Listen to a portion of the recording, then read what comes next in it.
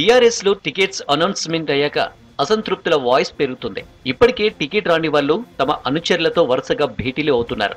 ఖమ్మం జిల్లా పాలేరు టికెట్ ఆశిస్తున్న మాజీ మంత్రి తుమ్మల నాగేశ్వరరావు తన అనుచరులతో సమావేశమయ్యారు. హైదరాబాద్ నుంచి ఖమ్మం చేరుకున్న తుమ్మలకు భారీ స్వాగతం పలికారు కార్యకర్తలు. సరిహద్దు నాయకన్గూడెం నుంచి ఖమ్మం వరకు దాదాపు రెండు వేల వాహనాలతో ర్యాలీ తీశారు.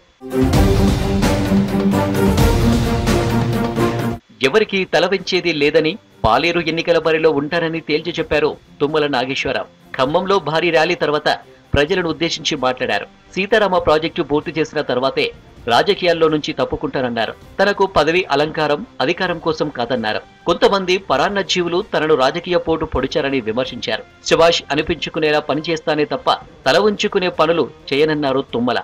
నేను నలభై సంవత్సరాలు రేయం బౌళ్ళు ఎవ్వరూ కూడా ఊహించినటువంటి పద్ధతుల్లో మీ యొక్క సౌకర్యాల కల్పన కోసం నా జీవితాన్ని అంకితం చేశానని చెప్పి మీకు సందర్భంగా నేను- కాబట్టి మీ ప్రేమ కోసం మీ అనుబంధం కోసం మీ ఆలోచన కోసం తప్పకుండా ఆ గోదావరి జలాన్ని బట్టి మీ పాదాలు కడిగేదాకా నేను శాసనసభ్యుడిగా ఉంటానని చెప్పి ఇక స్టేషన్ కర్పూర్ టికెట్ రాకపోవడంతో తీవ్ర అసంతృప్తితో ఉన్నారు ఎమ్మెల్యే తాటికొండ రాజయ్య. పంట పండించి రాజీపోసిన తర్వాత ఎవడో వస్తా అంటే ఊరుకుంటానా? అంటూ హాట్ కామెంట్ చేశారు. ఆరు నూరైనా ప్రజా జీవితంలోనే ఉంటారన్నారు. Station Kanpur ticket MLC Kadiyam శ్రీహరికి కేటాయించింది బీఆర్ఎస్ అధిష్టానం. దీంతో అసంతృప్తితో రగిలిపోతున్నారు రాజయ్య.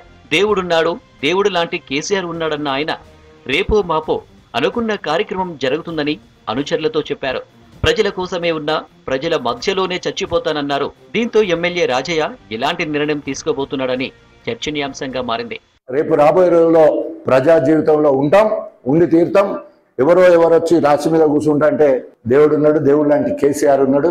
రేపో మార్పో మనం అనుకున్న కార్యక్రమం జరగబోతుందని చెప్పి తెలియజేసుకుంటూ తప్పకుండా ఆరు నూరైనా మీకోసం నేను ఉంటా మీకోసం ప్రాణం ఇస్తా మీ మధ్యలో చచ్చిపోతాను. మరోవైపు బీఆర్ఎస్కు కుల సంఘాలు కూడా వార్నింగ్ ఇస్తున్నాయి. ముఖ్యంగా ముదిరాజులు వరుస సమావేశాలు పెడుతున్నారు. తమకు కనీసం ఒక్క సీటు కూడా కేటాయించకపోవడాన్ని వాళ్ళు ప్రశ్నిస్తున్నారు. వచ్చే ఎన్నికల్లో బీఆర్ఎస్కు బుద్ధి చెబుతామంటున్నారు. యాదవులు కురుమ పద్మశాలి పెరిక క్రిస్టియన్ సంఘాలు కూడా వరుస మీటింగులు పెట్టి తమ సామాజిక వర్గానికి టికెట్స్ ఇవ్వాలని డిమాండ్ చేస్తున్నాయి.